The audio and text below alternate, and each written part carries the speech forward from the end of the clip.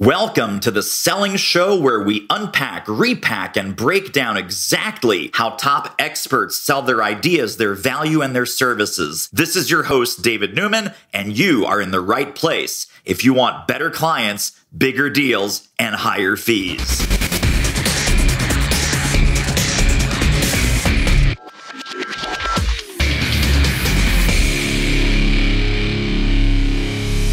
My next guest if my BMW GPS could have the voice of my choice, it would be Mr. Ronny Leber. Ronny, welcome to the show.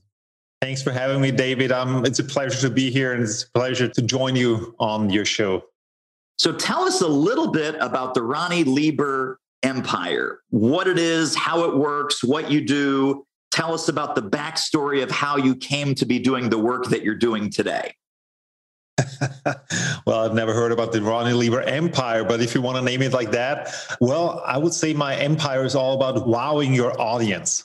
Like, really, to create an emotional connection, to create a special atmosphere, to take your client, your customer, whoever it is that you're dealing with on a journey. So, take them from where they are at and then take them to where you want them to go and adding value along the way. I would say that's my journey in a nutshell. And what that means, what I've done is in the past, um, well, almost 15 years, I've hosted events with, uh, I got to entertain more than 5 million people live. When COVID hit, I transitioned to TV. I've been now more than a thousand hours live on TV. Before all of that, I was doing sales, like door to door sales 20 years ago. I was knocking doors. I was at 3,000 people's homes. And it was an incredible school, an incredible teaching and, and learnings that I've brought with me up to this day. I love what you're saying about the emotional journey and then adding value along the way. I think a lot of people, a lot of speakers, trainers, coaches, and consultants, they think that a virtual event is a training event first or a learning event first and make them feel good and make them happy sort of along the way, have a sense of bonding, have a sense of community. I have come to learn, and I'd love to tap your wisdom on this. I just recently literally came to learn it is 180 degrees opposite.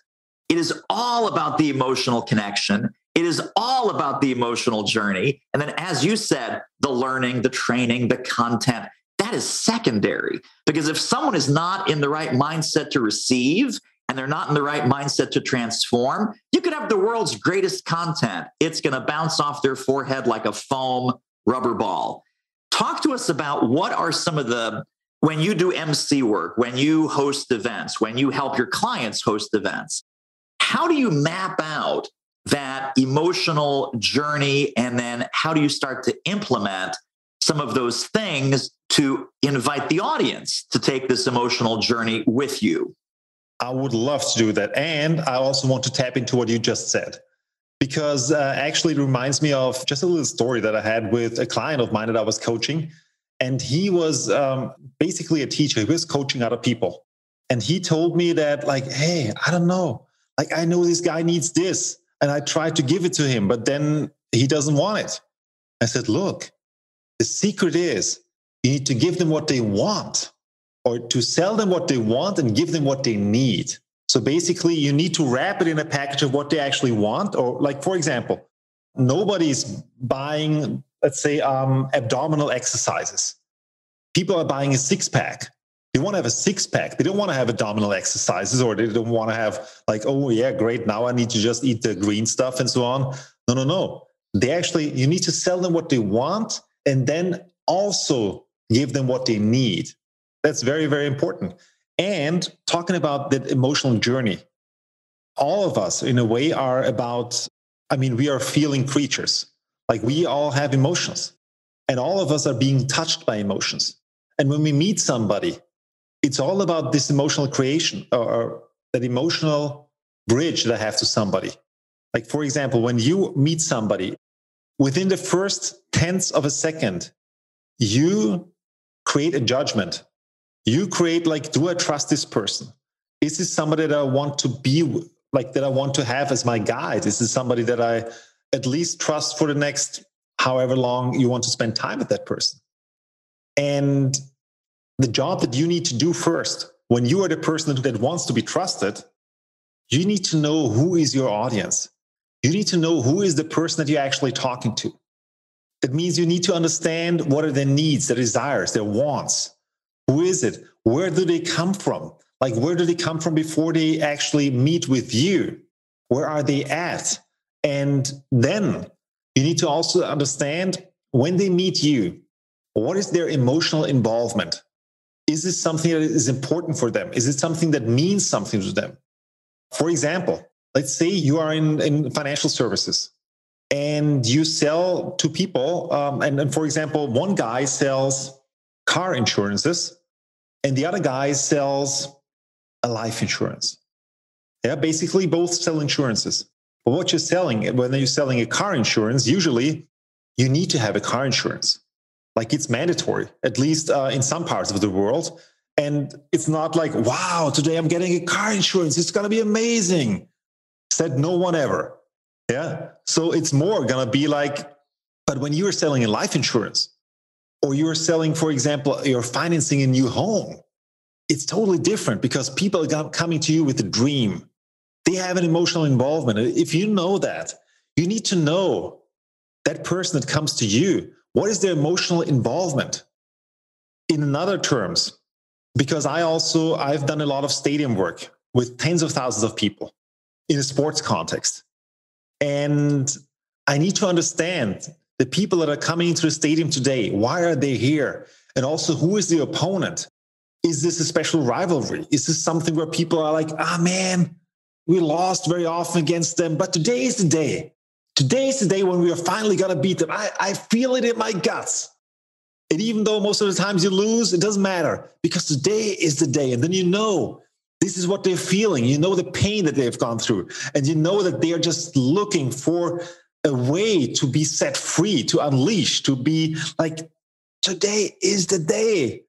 If you know that, then you can grab their pain, you can grab where they're at, and then you can take them on a journey and you can bring them to freedom. You can bring them to where they want to go. But you need to know the journey. You need to see the journey before they see it. And you need to know who is is, who is your ideal client, who is that person is coming. And then you take him on a journey to where you want them to go. Yeah, really, really profound. Let me ask you that because this is so critically important. You absolutely need to know who they are, why they're there, what are their struggles, what are their pains, what are their battle scars right? Where have they come from where they've been beat up, they've been bruised, they've been disappointed, they've been let down?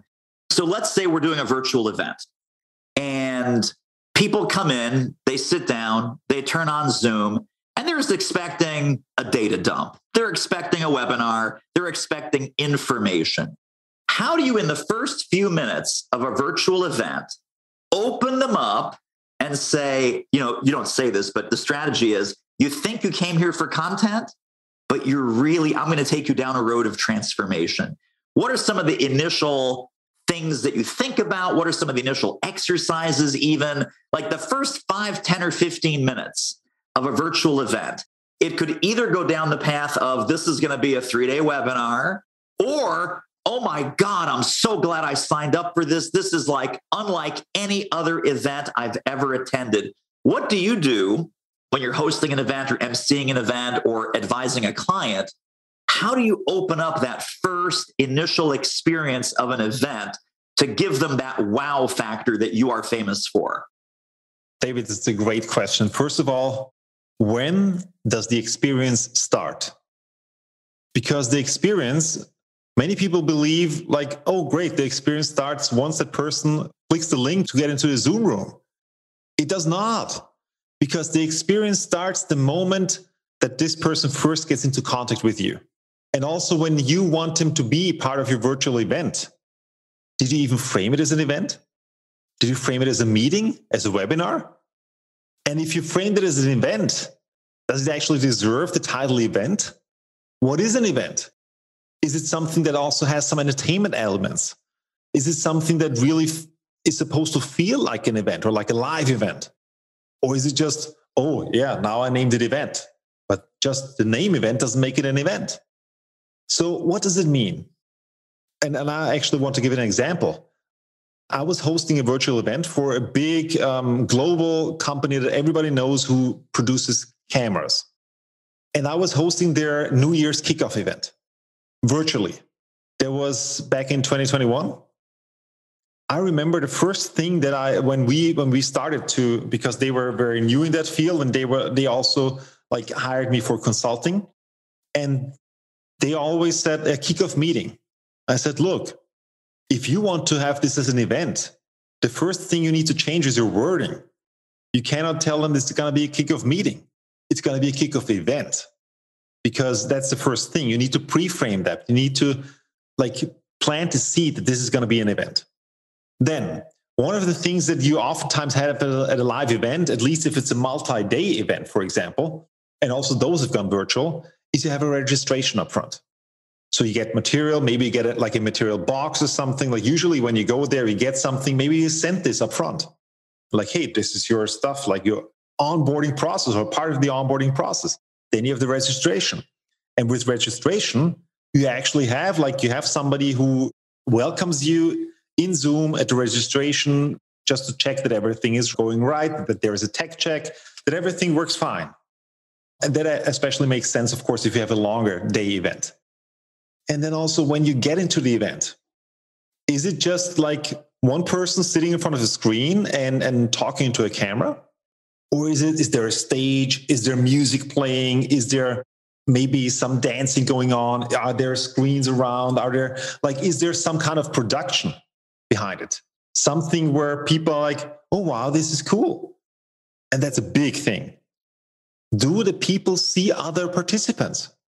Like, do you see other people in there? Or do you just see the person? Or do you just see the content? Like, is it a two way communication that you feel there are more people than just me? Or is it like watching TV?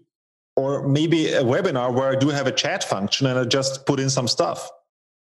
But the moment you actually, that, that, that it starts to develop this dynamic of having a back and forth conversation, of not just using the chat as an instrument, and the chat is a very critical instrument, but also of having that feedback, of seeing them, of, of actually feeling them, of having them participate. If you have some music, if you have some people get out of your chair and, and uh, get out of the chairs and like really moving their body, because especially when it comes to a longer event, like let's say that this is going to be several hours or it's going to be several days and several hours a day, then you really, really, really need to manage their state.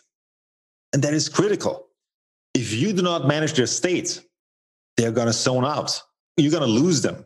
If you just make this a, a story about what's going on in their mind and some rational stuff and like no emotions involved, you're going to lose them.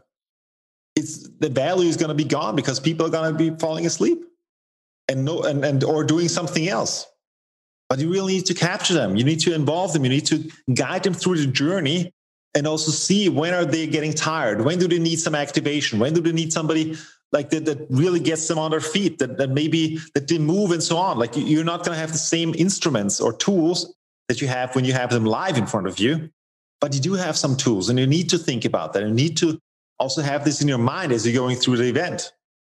Does it make sense?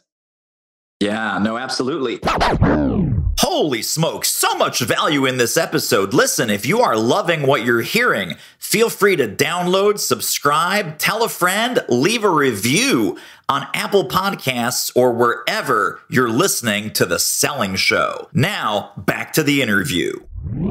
Now, there are different kinds of people, right? There are people who love to dance, there's people who don't want to dance, there's people who want to get up out of their chair and boogie. There's people who want to take the deep yogic breath with you, the deep yoga breath and then exhale. People who are willing to play along. And then there are people who are like either reluctant to play along or like, wait a minute, I've never done this on a Zoom call. This feels weird to me.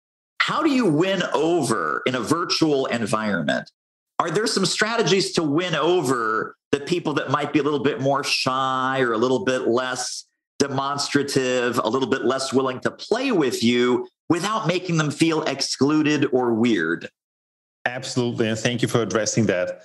First of all, what is really critical is the way that you frame it, the way that you present it to them. It's really critical that you do not make it about you.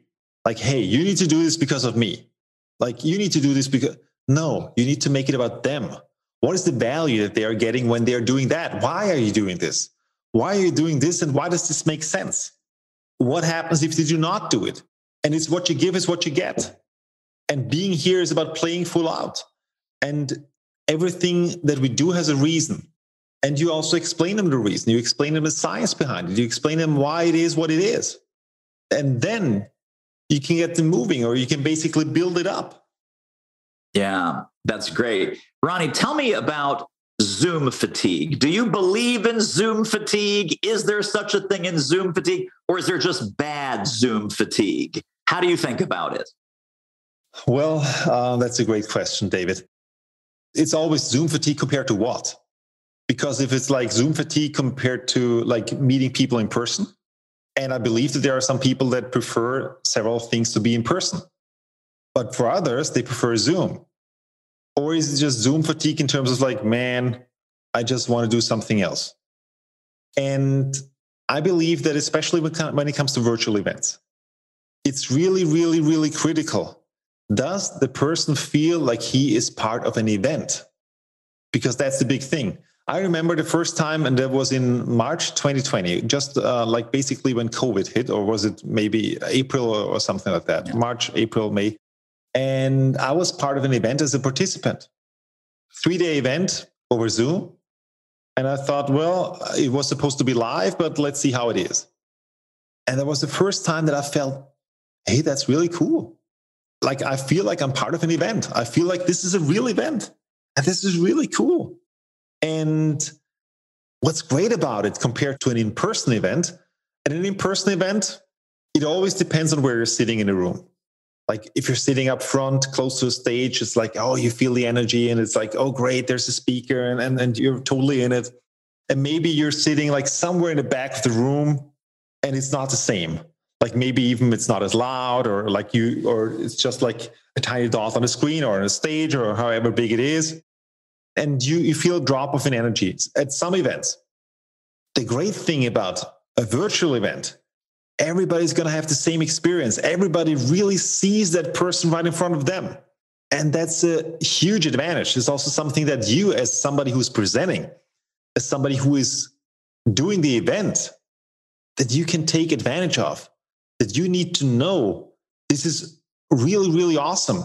And what's really cool about it if you master the selling from stage, you can absolutely increase and multiply what you have been selling live compared to what you're selling online. Just because of that closer, intimate connection. Yeah, amazing. I'm curious, Ronny, because there are, you know, you can come into an event and let's say it's a three day event, like big heavy duty event. I know you've done these events, you know, 10 hours a day, three days, morning, noon, night, and all kinds of things are happening. There's sort of a build-up process that you can't, you know, day one, hour one, minute one, you're not going to get any audience member to open up their deepest, darkest secrets or mindset blocks or personal tragedies. How do you know the emotional arc of an event, or is there a recipe or a formula that you like to share with your clients for that emotional arc of the event. When is it okay to go deep? When is it okay to bring them back? When is it okay to go deep again? Is there a cadence or is there a recommended flow that you've seen be particularly effective? Uh, that's a great question, David. And, and actually, um, there is a saying in German, which is my native language. And it's like the way that you yell it into the woods, it's going to come out again. Yeah. And so if you want somebody else to open up, you need to open up first. What does it mean? Also, you need to be vulnerable. You need to show your vulnerable side. You need to show that you're not perfect. Because to be honest, none of us are. Yeah. And if you are just being superficial on stage, you cannot expect a deep emotional reaction. That's the very first thing. Also, how do you plan? How do you actually take them on the ride? You know, the point is, it does not matter how long your talk or your event is, there's always the same system behind it. There's always the same system behind it. The first thing you got to plan what is your outcome? What is the outcome? What is the outcome of the event? And it doesn't matter if it's a three day event, if it's a five day event, if it's an hour speech. what is the outcome of your time there? And if you have, for example, a three day event or a two day event, you have the overall outcome. At the end of the event, this is what you want them to take with. And then you create outcomes for every day, for example. And then you can break it down outcomes for the processes and so on. So, first thing is, what is your outcome? The next point is, where is your starting point? And that actually also ties back with who is your audience and where do they come from? What are their um, pre experiences? What do they already know about you? Are you part of a bigger event or are you the whole event? Is this your event or is it somebody else's event? Or you're just there to speak for an hour or something? And who comes before you? Who comes after you? Where do you fit in the program? Why are the people here? Are they there because of you or are they there because of somebody else and you're just a sidekick? Like you need to know all of that. You need to know to understand how they will perceive you because that will help you to take them. Because, and, and I'm going to tell you why this is important. What I've learned also from being um, like for some time of my career, I was doing warm ups, like warm up postings for TV audiences, like for live TV shows. So you have a warm up guy who is, and then there is the audience, and then the audience is waiting. And usually on TV, it's fairly easy because people come there to be entertained, especially when they go to a show. So I, we were filming um, two shows a day, and we were filming two days in a row. And I remember um, that after the first show that where I was the warm up, the producer came to me and he was like, wow, that's great. Like, it's really cool what you're doing. And it's like really nice. I said, well, thank you. But I, I didn't really do anything. Like, I was just basically when they came in, I welcomed them and I was talking with them, basically having a conversation with the room and, and just having fun with them. And he said, yeah, you know what?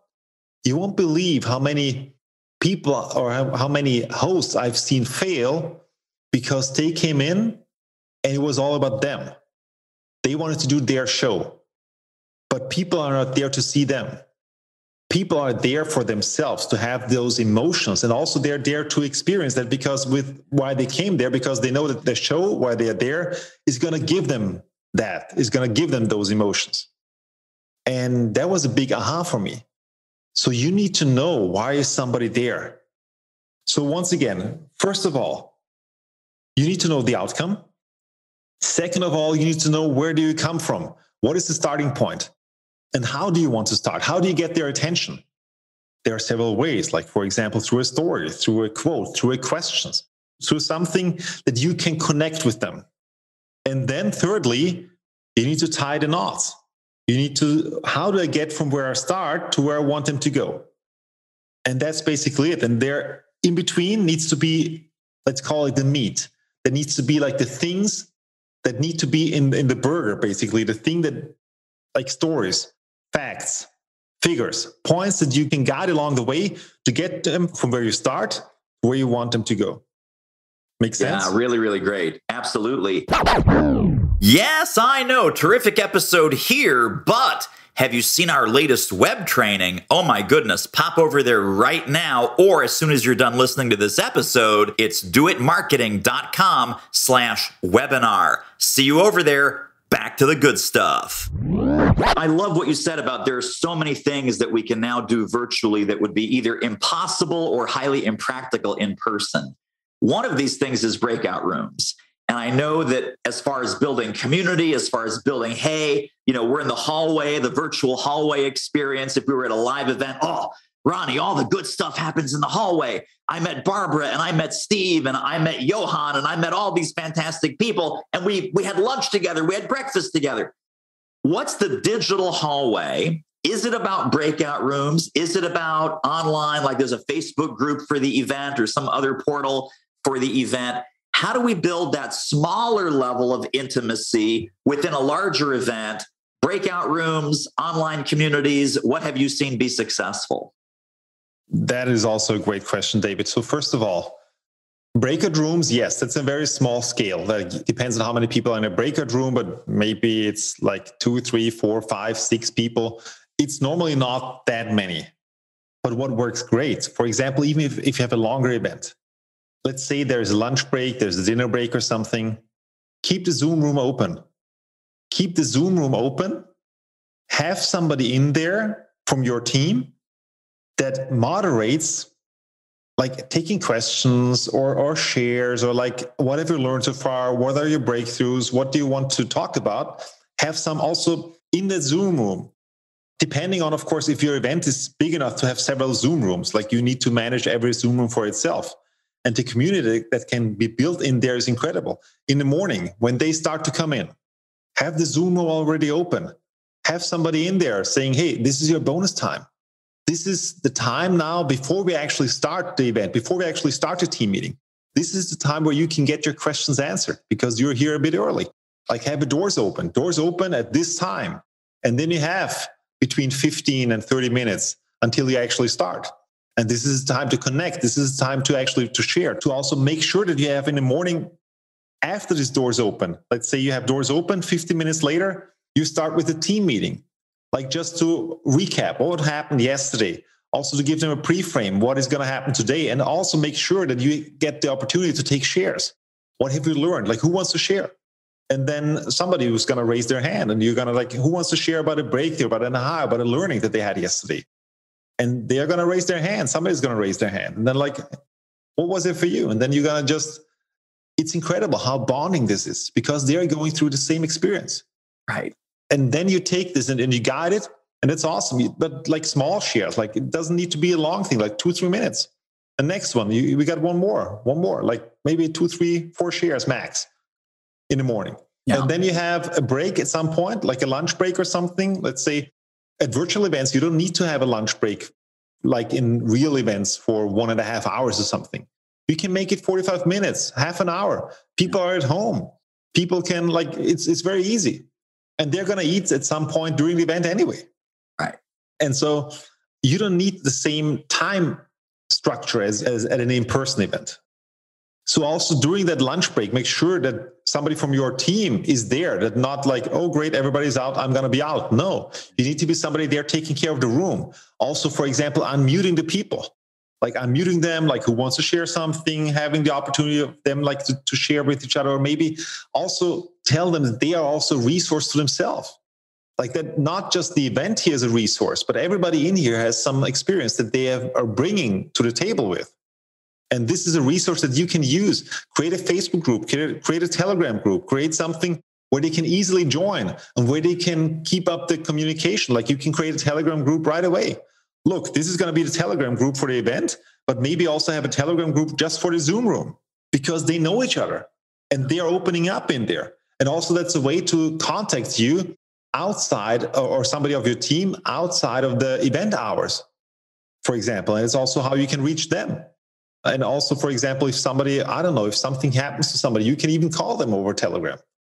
And then afterwards, uh, you have maybe another break. And you, again, then you give them again the floor and you say you, well any questions and any anything you like you want to ask anything whatever it is and at the end of the day you're going to say hey hope you had a great day and then we're going to see you tomorrow at that time and then the same thing again yeah wow really really powerful i want to kind of zoom out 30000 feet and then i want to let people know where to get more connection with you and your brilliance uh, the 30000 foot question out of all the great gems that we've talked about today thinking about virtual events, virtual connection, virtual community, making events memorable, making events transformational.